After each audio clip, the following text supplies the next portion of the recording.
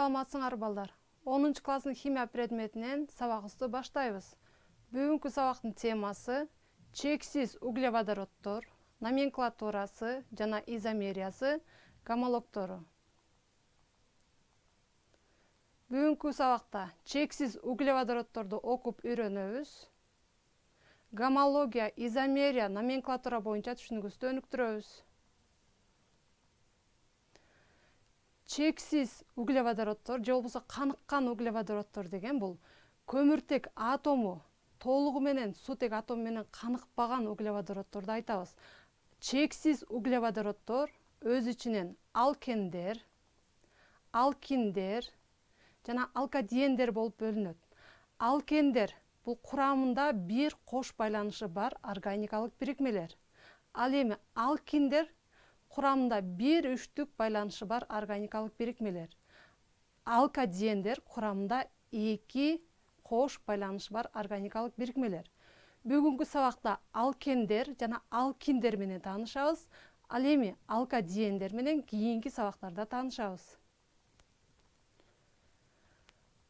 Алкендер молекуласынын курамында бир кош байланышы бар углеводороддор алкендерди биз этилен катарындагы углеводороддор деп да айтабыз балдар. Алкендер sp эки гибридтешүү абалында болот. sp эки гибридтешүүсүн эсибизге түшүрөлү анда.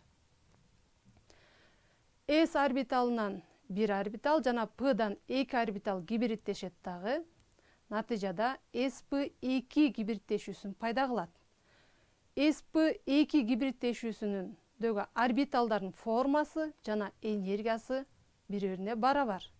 Ал эми көмүртек э, көмүртек атомдордун ортосунда бурч байланыштын бурчу жүз жыйырма градуска барабар. Гибридке катышпаган п орбиталдары бири бири менен жабылышып химиялык байланышты пайда кылат ал пи байланышы деп аталат. Этилендин молекуласын карап көрөлү этилен бул алкендерге кирет башкача айтканда чексиз углеводород. Бул жерде көрүп атасыңар сүрөттө көк түстөгү көгүч түстөгү жана күлгүн кызыл түстөгү бул гибридке катышкан орбиталдар. Ал эми кызыл түстөгү орбитал бул гибридке катышпаган п орбиталы. Гибридке катышкан орбиталдар сутек атомунун орбиталдары менен сары түстө көрүп атасыңар жабылышып химиялык байланышты пайда кылат. Жана ошондой эле көмүртек көмүртек атомдору дагы күлгүн түстөгү орбиталдар өз ара жабылышынан дагы химиялык байланыш пайда болот. Бул байланыштарды биз сигма байланышы деп айтабыз. Гибридке катышпаган п орбиталдары демек пи байланышын пайда кылат. Пи байланышы начар байланыш ал эми сигма байланышы бекем байланыш болуп эсептелинет. Бул этилендин же этиндин структуралык формуласы көмүртек менен суутектин ортосундагы байланыш демек сигма байланышы болот экен ошондой эле көмүртек атомдордун ортосунда дагы бир сигма байланышы бар. Ал эми экинчи көмүртек көмүртек атомдордун ортосунда байланыш бул пи байланышы. Химиялык реакция учурунда башка зат менен аракеттенишкенде ушул пи байланыш үзүлөт дагы демек алкендер кошуп алуу реакциясына жөндөмдүү келишет балдар. Бул этилендин көмүртек атомдору агыш түстөгү сутектин атомдору. Көмүртек көмүртек атомдордун ортосундагы байланыш башкача айтканда кош байланыштын узундугу ноль бүтүн миңден отуз төрт нанометрге барабар. Алкендердин гомологиялык катарын карап көрөлү алкендердин жалпы формуласы сн h эки н. Алкендердин курамында бир кош байланыш болгондуктан эки с экиден башталат гомологиялык катар. Демек курамында с эки h төрт болсо бул этен деп аталат. Бир кош байланыш кармалып жүрөт. Кийинки гомологу пропен с үч h алты. С үч h алты бул пропендин молекулалык формуласы ал эми с с эки кош байланыш с h жөнөкөй байланыш с h үч бул пропилендин же болбосо пропендин кыскартылган структуралык формуласы. Андан кийинки гомологу бул бутин. Бутен башкача айтканда с төрт h сегиз мунун дагы курамында бир кош байланышы бар. Кийинки гомологу пентен. С беш h он. Бул жерде салыштырып көрсөңөр бири бири менен с h эки тоо менен айырмаланды. Бул топту биз гомологиялык айырмачылык деп айтабыз. Бул демек алкендердин гомологиялык катары балдар. Тарыхый номенклатура боюнча каныккан углеводороддордун атына ан мүчөсүнүн ордуна илен мүчөсүн өзгөртүү менен атоого да болот балдар. Демек алкендерди тривиалдык аталышын карап көрөлү. С эки h төрт юпак боюнча же болбосо эл аралык аталыш боюнча бул эттен деп аталат. Ал эми тривиалдык аталышы боюнча же болбосо тарыхый аталыш боюнча бул этилен деп аталат. С үч h алты пропен тривиалдык аталышы пропилен. С төрт h сегиз буттен тривиалдык аталышы бутилен. С беш h он пентен тривиалдык аталышы амилен же болбосо пентилен. С алты h он эки гексен гексилен. С жети h он төрт юпак боюнча гептен тривиалдык аталыш боюнча гептилен с сегиз h он алты октен. Ал эми тривиалдык аталыш боюнча октилен с тогуз h он сегиз нонен юпак боюнча же болбосо эл аралык аталышы боюнча ал эми тривиалдык аталышы нонилен с он h жыйырма децен ал эми тривиалдык аталыш боюнча децилен деп аталат балдар. Демек алкандарды юпак боюнча жана тривиалдык аталышы менен атоого болот балдар. Алкендердин номенклатурасын карап көрөлү.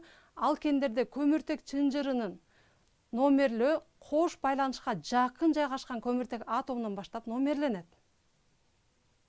Демек кош байланышка оң жагы жакын оң жактан сол жакты көздөй номерлейбиз. Бул затты атасак сдан көмүртектен беш атом кармалган. Демек грекчеден беш деген пент ал эми курамында кош байланыш болуп аткандыктан н мүчөсүн алабыз. Пентен ал эми эки деген бул кош байланыш экинчи көмүртекте жайланышкан. Ошондуктан пентен эки деп аталды бул зат. Алкендерди атоодо негизги өзөгү катары эң узун кош байланышты кармап жүргөн орун алмашуучулары көп чынжырды тандоо керек кош байланышка жакын жайланышкан көмүртек атомунан баштап номерленет. Орун алмашуучулары жайгашкан углеводороддун атому сан менен көрсөтүлөт. Углеводороддун ан мүчөсүнө н мүчөсүнө алмаштырылып аталат балдар. Бул затты атап көрөлү балдар. Кош байланыш оң жака жакын болгондуктан демек оң жактан сол жакты көздөй номерлейбиз бул бул заттын өзөгү болуп атат балдар ал эми үч бул бутагы же болбосо химиялык тилде муну радикал деп айтабыз заттын атын атоодо биринчи радикал аталат радикалы кайсы көмүртек менен байланышса ошол номер коюлат демек эки деп жазабыз sh үч бул метил радикал болуп аткандыктан метил дейбиз ал эми өзөктүн аты сдан алты көмүртектин атому кармалгандыктан гексен деп айтабыз демек бул заттын аты эки метил гексен эки деп айтылат бул затты да карап көрөлү бул заттын түзүлүшү бир аз татаалыраак демек жанагы айткандарды эске алабыз дагы эң узун чынжырды өзөк кылып алабыз демек бул жерде бул эң узун өзөк болуп атат бул өзөгү катары алынды. Ал эми бул радикал бул дагы радикал sh үч бул метил радикалы ал эми sh эки sh үч бул этил радикалы. Затты атоодо демек радикалдан баштап атайбыз. Эки радикал турат бирок кичинекей радикалдан баштап аталат демек үч метил төрт этил деп айтылат жана гексен деп айтылат дагы кош байланыш үчүнчүдө туруп аткандыктан аталышы үч метил төрт этил гексен үч деп айтылат бул затты да карап көрөлү бул затта дагы эки радикал жайланышкан өзөгүн аныктап алалы демек өзөгү түз кеткен бул өзөгү ал эми ылдый жактагылары бул радикалдары бул заттын аты алты этил беш изопропил октен эки деп айтылат изо деген бул бутактанса эгер радикал изо деген сөздү кошуп айтабыз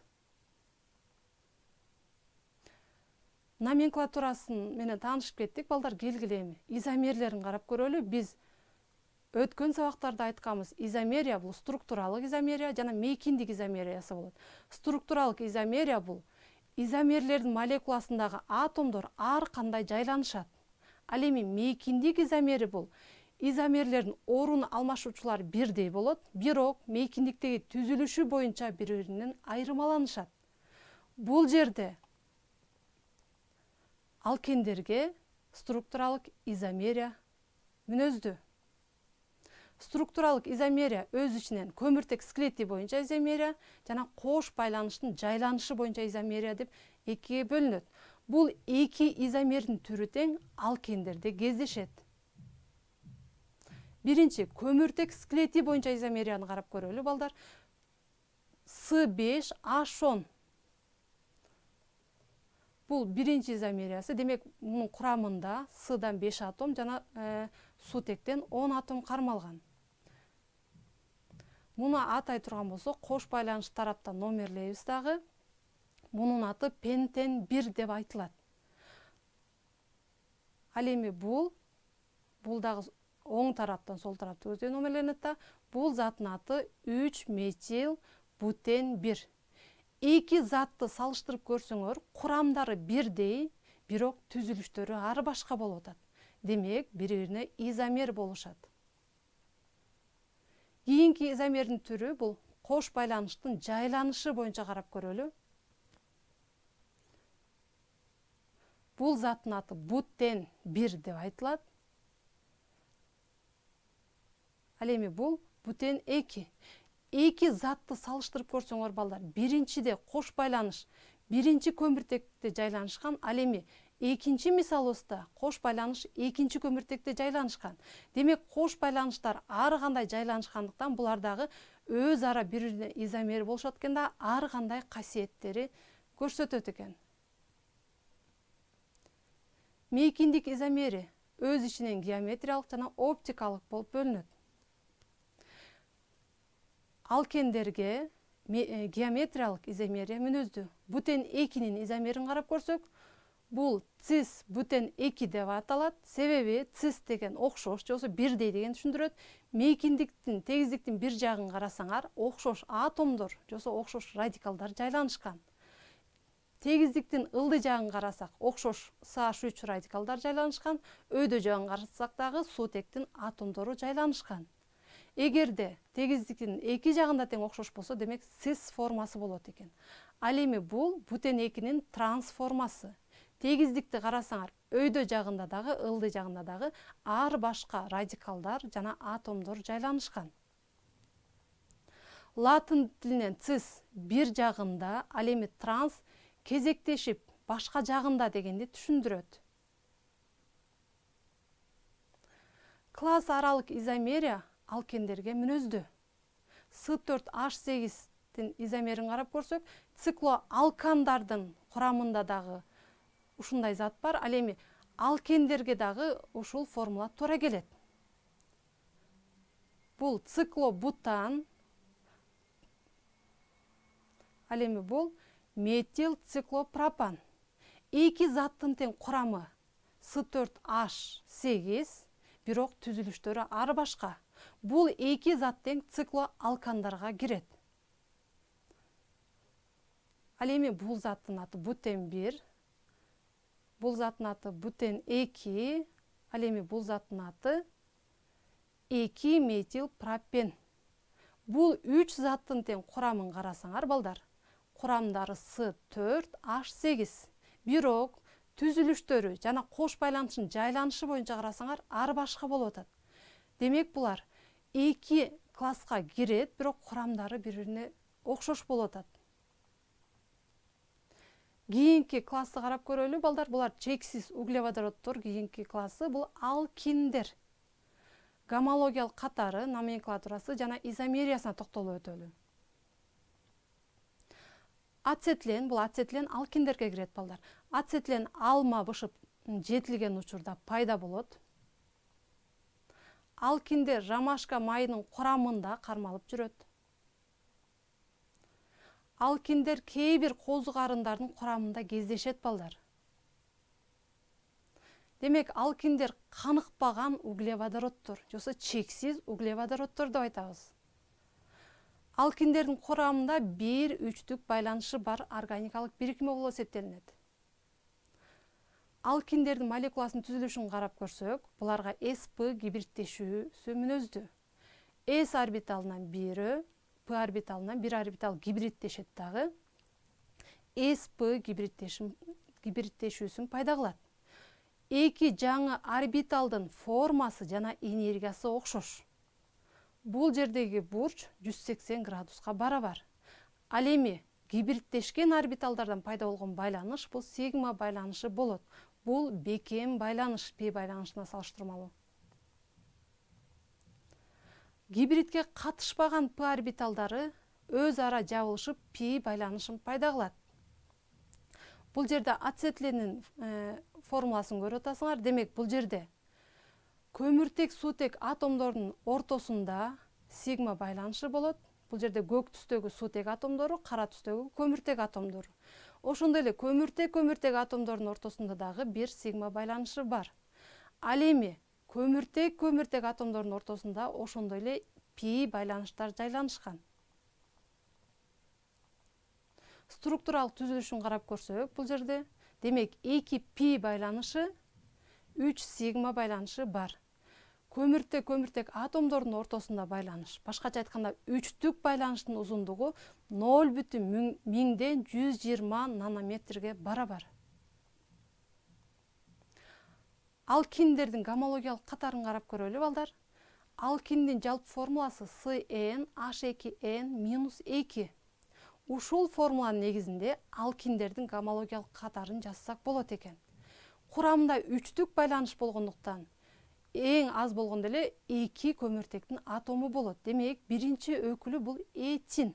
С эки h эки. Курамында бир үчтүк байланышы бар. Андан кийинки гомологу бул пропин с үч h төрт бутин с төрт h алты кийинки гомологу пентин с беш h сегиз. Балдар бул гомологдорду салыштырып көрсөңөр курамдары бири биринен sh эки тобу менен айырмаланып атат демек бул sh эки тобу гомологиялык айырмачылык деп аталат экен молекулалык массанын өсүү тартибинде жайланышса бул гомологиялык катарды түзөт силер көрүп жаткан демек бул алкиндердин гомологиялык катары алкиндердин номенклатурасын карап көрөлү балдар. Алкиндер каныккан углеводороддордун ан мүчөсүнүн ордуна ин мүчөсүн алмаштырып аталат мисалы этан этин пропан пропин алкиндин аталышын атоодо үчтүк байланышты кармап жүргөн эң узун чынжыр аныкталат. Үчтүк байланыш жакын жайланышкан негизги чынжырдагы көмүртек атомунан баштап номер коюлат. Эгерде үчтүк байланыш так ортодо жайланышса анда орун алмашуучусу жакын жайланышкан тараптан баштап номер коюлат балдар. Бул затты атап көрөлү келгиле анда үчтүк байланыш ортосунда жайланышкан бирок радикалдар оң жагына жакын демек номерди оң тараптан баштап бере коебуз. Бул жерде мына сары менен белгиленген бул үчтүк байланыш. Демек бул номерленген өзөгү болуп эсептелинет балдар. Ал эми sh үч sh үч булар радикалдар. Эки радикал окшош болсо демек ди деген сөздү улап айтабыз. Булар метил радикалдар экен демек экинчи көмүртекте метил радикал жайланышкан ошондой эле дагы экинчи көмүртекте метил радикал жайланышкандыктан аталышы эки эки ди метил гексин үч деп айтылат. Бул затты атап көрөлү балдар. Радикал сол жагына жакын. Бирок биз радикалды эске албастан үчтүк байланышты эске алуу менен номерлейбиз.